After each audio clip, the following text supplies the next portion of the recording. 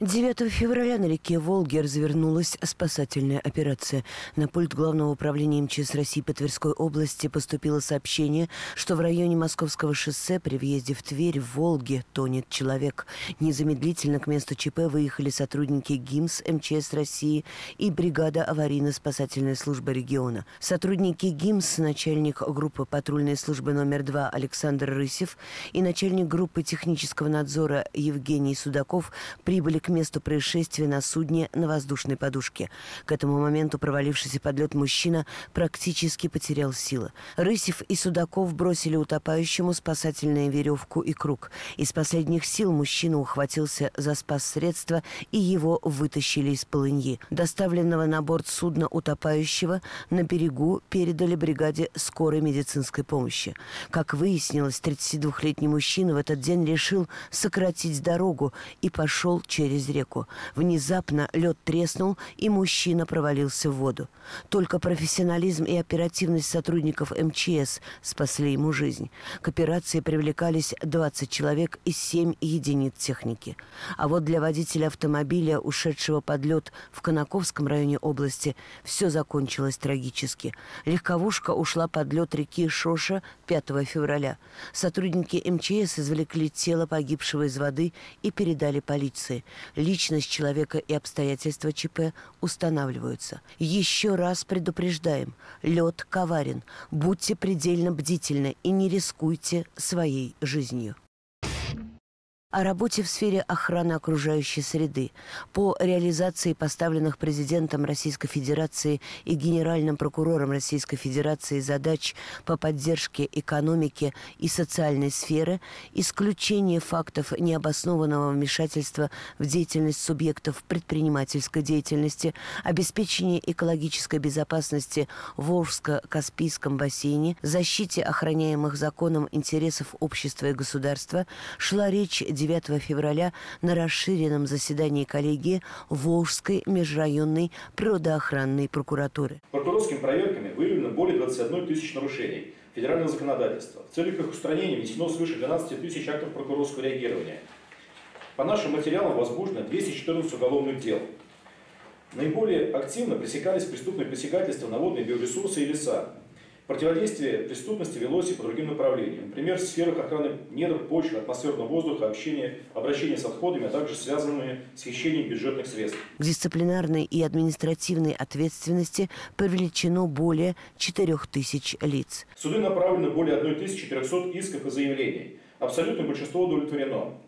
Продолжено внедрение новой судебной практики по защите экологических прав граждан и интересов государства. Активизирована работа в сфере исполнения решений судов. Для решения вопроса об уголовном преследовании виновных лиц прокурорами направлено около 300 материалов проверок.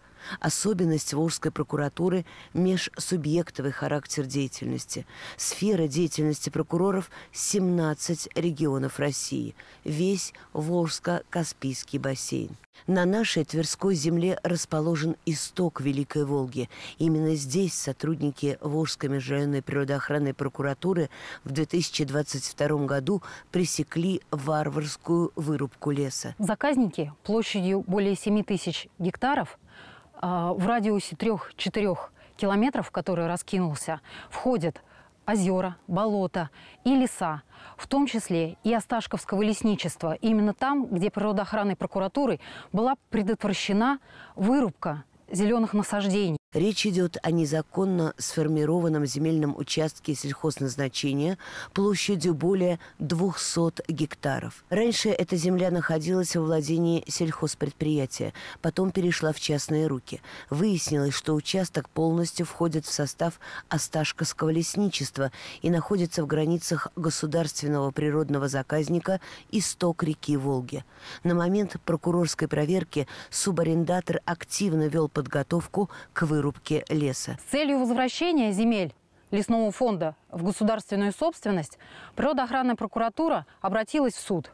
Решением суда требования прокуратуры были удовлетворены. В целях сохранения лесных ресурсов, также по требованию природоохранного прокурора, судом было наложено обеспечение э, в виде ареста земельного участка и запрета на произведение вырубки в данных лесах. Возвращение земель лесного фонда в собственность государства, внесение изменений в единый государственный реестр недвижимости находится на контроле природоохранной прокуратуры – а вот совсем недавний пример.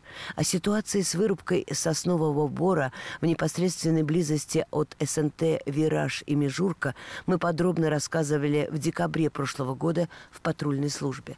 После нашего сюжета с комментарием исполняющего обязанности Тверского межрайонного природоохранного прокурора вырубка леса приостановлена.